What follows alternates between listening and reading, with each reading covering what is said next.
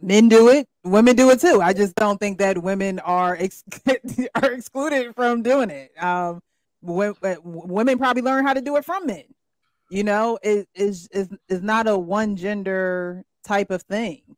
I and I think that you would be, you know, na- naive to think that women don't take advantage of men that they don't have their own agendas, whether it comes down to dick, whether it comes down to money, whether it comes down to some type of covering or security.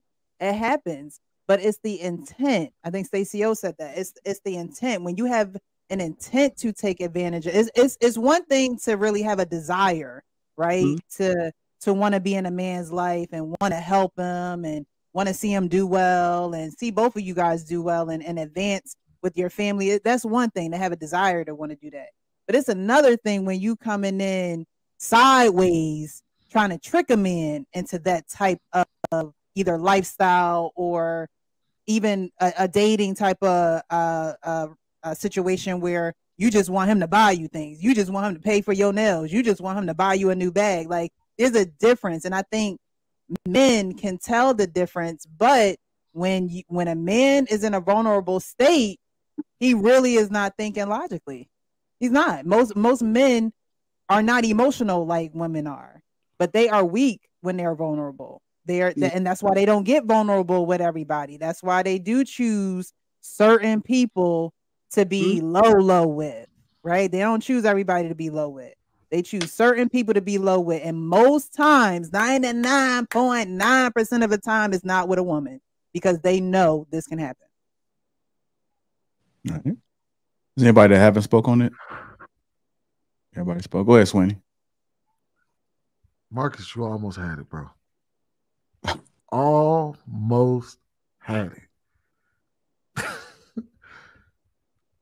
this is the thing, and, and again, we keep trying to make this a predatory thing, and it's not. For example, just to go back and use Marcus's example, a guy, and, and I'm sure Andrea, you've experienced this a guy comes in, or you may have talked to a guy and he said, Man, I did everything. I pulled out a chair, I walked, I opened up the door, I took her out. I was all of this for this guy, uh, for this woman. Okay. And when I when it came time and I was looking for a relationship and I wanted to be with her, or he could just be one like, man, I wanted to have sex with her, and she cut me off at the door and said I was just a great friend, and he gets upset. It's the same thing. Like now, let's use Marcus's example. A guy comes in, he sees a woman, she's grieving or whatever. He may genuinely like the girl and want to, and he's like, okay, I care for this woman. I'm gonna go, I'm gonna do all of this. And what happens is he think that's what she he thinks this is what a man's supposed to do for this woman in this moment. So he's doing all of these things for her. And then when it's time for him to shoot his shot, he gets shot down and he gets upset. That's essentially the same thing. It's not malicious. I don't think it's malicious intent. I don't think that even women, when they do it, it's malicious intent. She's basically saying, your strategy that what you think may work for that person you're trying to go in with this strategy with this plan in uh, place for a guy and then you find out that the strategy doesn't work. Don't come back to the world and get upset about it.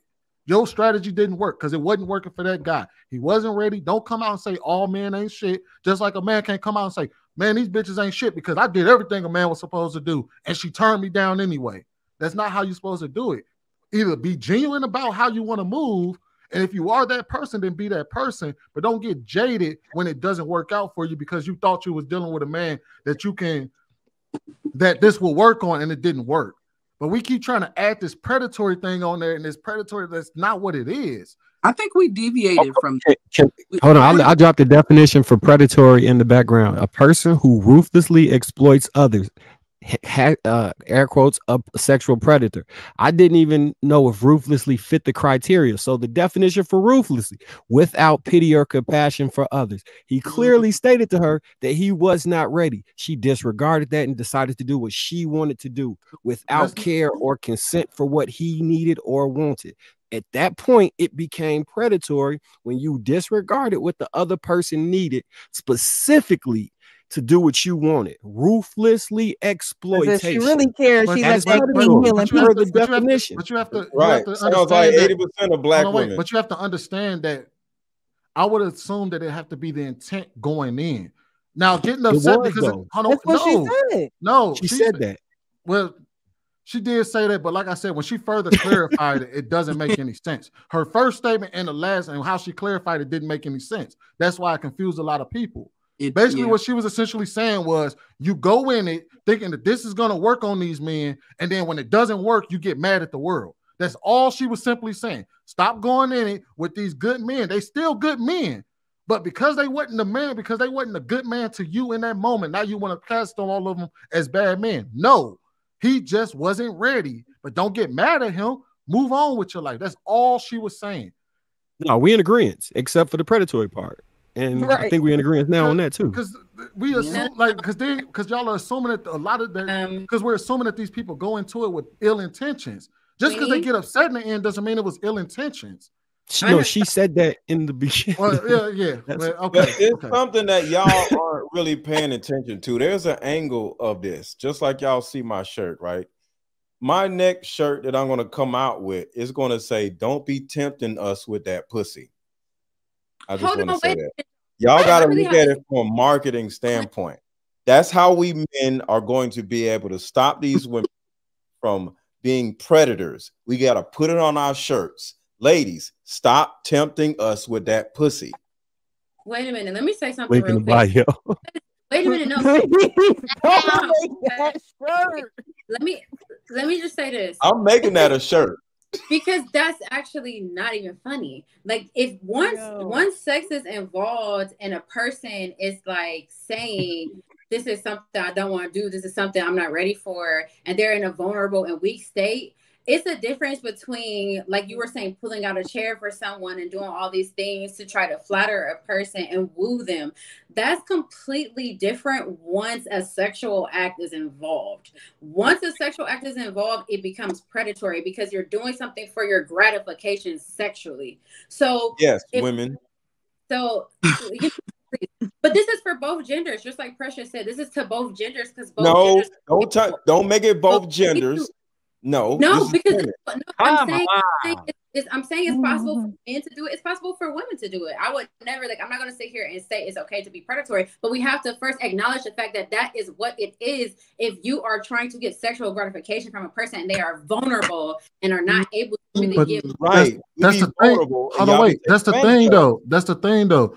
The That is woman ain't mad. The thing is that when she further explained and when she got to the end of her statement, the woman ain't mad because she got sexually gratified or that she did that he didn't give her sex. She got mad that he didn't give her a relationship. you're not listening. You're not listening. You're So not if listening. somebody hold on, wait. So if somebody goes in and says, "Hey, look, I'm just in it for the sex," and You're then not you find out that that's all he's in it for, and then you get upset. That I'm, I get what you're saying. I heard you. I heard what Are you, you said. scratching your wig? I heard. Are you doing Mr. the Lego, come on, that black bro. girls be doing? Bro, come on, bro. Come on, bro. Okay, She's not scratching her wig. She's tapping her head. Come on, man. Oh, I thought she was okay. No, she isn't. She's tapping her head because she's saying that I'm not listening. I heard you, Andre. I get what you're saying. What I'm saying is, is that what she's describing is not a person that's using somebody and they trying to get sexual gratification against the other person's will type mm-hmm. deal. What she's saying is that they what they that they're using this because they think that's what the person that they about to get with wants, and then they get together, they have the sex, they do whatever, but then she finds out that what she really was trying to get out of this person was the relationship or what or more than just the sexual gratification, and then she finds out that he's not ready. And then she's mad at the world and she says all men ain't shit because this guy wasn't ready for her. That's what it say boils down to. this, Right.